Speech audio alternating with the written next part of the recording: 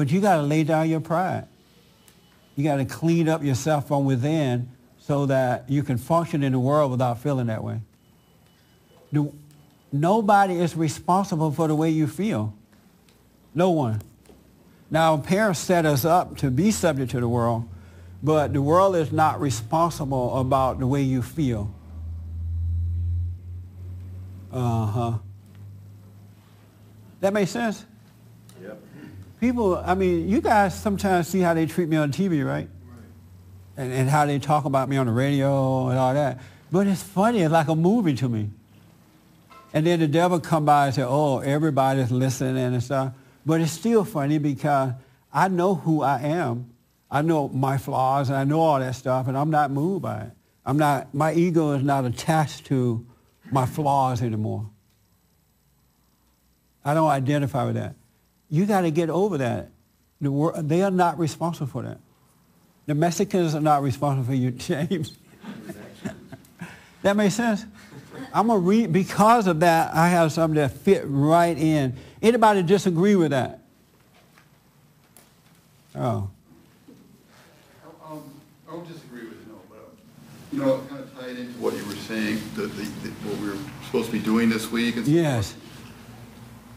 You know, had a little bit of success with it the first week, for one day. and what we were saying is not judging Not anything judging things are good or, good or evil. because that's what's making you feel disrespected. You're judging that situation, that person, in that very moment. You're saying that they're wrong. You're making a decision about right and wrong, but it's coming back on you. Right. So I've had a nice little run now of not being able to succeed at it for a number of days.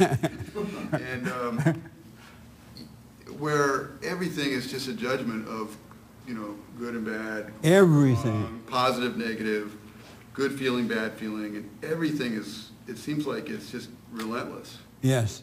And it's weird, because I can hear you say what you say too. You're talking about things that are true. I can understand it as being true, but there's still some kind of a disconnect between that and the real world of reacting to things. You know, like you're saying, you know, being disrespected. Yes. Yeah, it sounds crazy. But I kind of knew that going in too. you know what I mean? Yeah.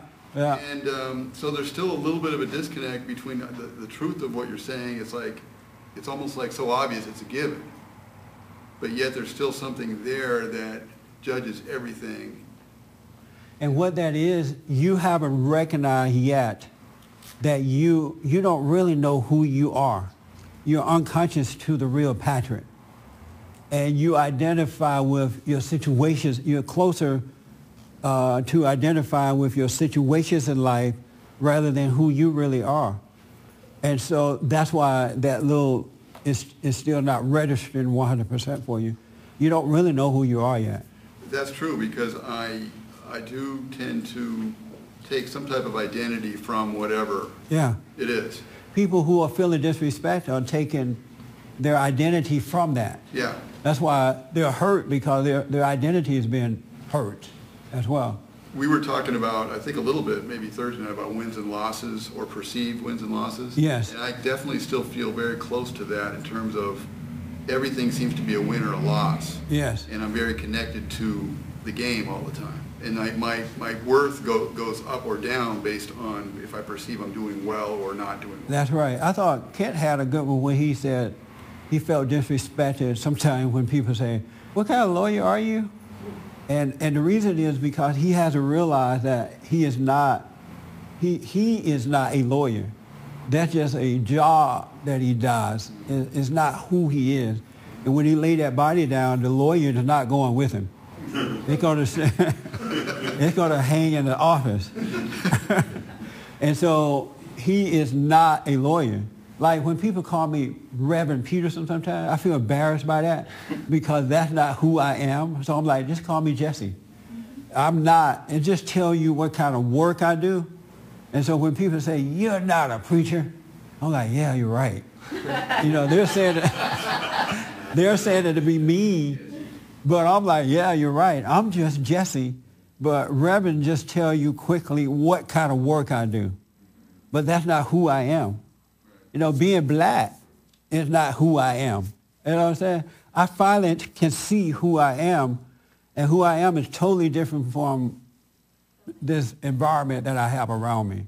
Everybody who's not, whatever, say, they're who they are could be anything. With me, it's, it's performance, somebody could be their skin color. Yeah. Somebody's money, it could be their job title. Yeah. Right. Eh, Most 99.9999.9% of people have identified with their outer environment, with their situations, whatever it may be, and that's who they become. And that's what, when you deal with that, they're violated by that. Right, right. Because it means the world to them. Even though it doesn't work, it does give you a false sense of identity.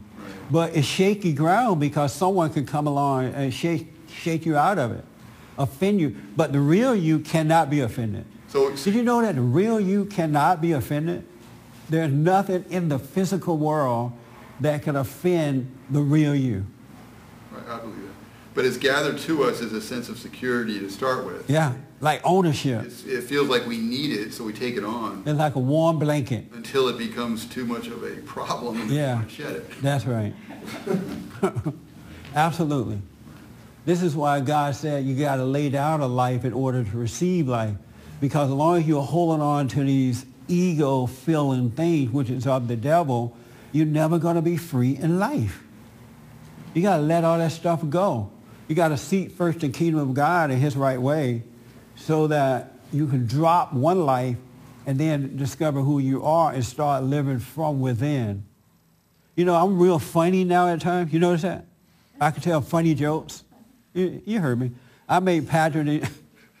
See how everybody laughing now? These jokes are coming from inside of me. It's weird. My talent is coming from within. The jokes, everything I do now is coming from within. Uh, the way I learn things, everything. It's amazing that everything we are is already inside of us, but our parents and the teachers have dumbed that down by putting pressure on us, by trying to force us to be the way that they are, messed up like them, to learn in a certain way, to act in a certain way. Uh, even a lot of parents I notice now, and mothers seem to have it worse than fathers. They're like praising their children all the time now. Oh, you're so wonderful. Come on, you're so smart. Just do what you do. I love it. You know, constantly praising. And they don't realize they're setting their children up to live off praise. And the kids going to eventually hate them for that because the kids are going to have conflict with who they really are you know? And so they, they bring us into this world and they make us worldly. And disconnect us from that natural way of learning and natural way of being. And for me to tell you this, um, it got to be real because I don't have sense enough to know this on my own. I really don't.